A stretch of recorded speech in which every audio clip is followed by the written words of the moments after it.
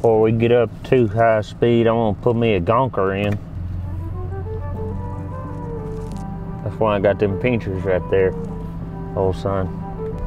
This is Winnebago. It ain't much, but it's home. I got great grandkids running around these streets.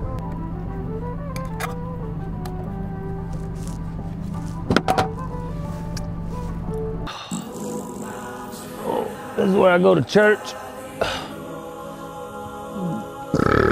This is where I go to church. The preacher died a couple years ago.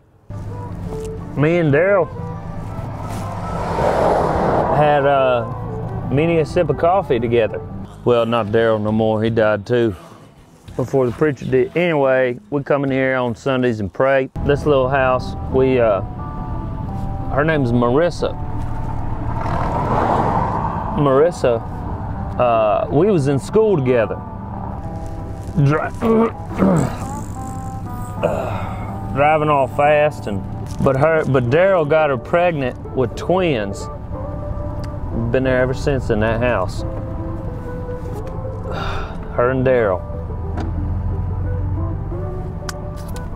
I wasn't supposed to tell nobody that, but dang it, Daryl, it's been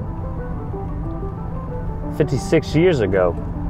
And besides, you're in the Winnebago Cemetery. You ain't gonna do nothing about it, no way.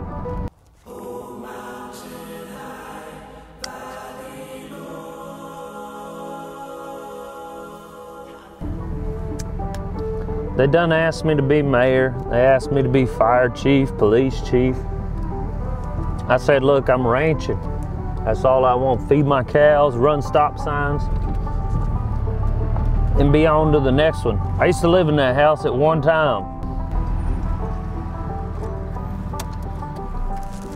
Oh.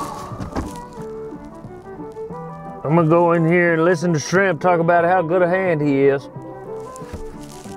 I'll be back in a couple of hours. Oh, look out.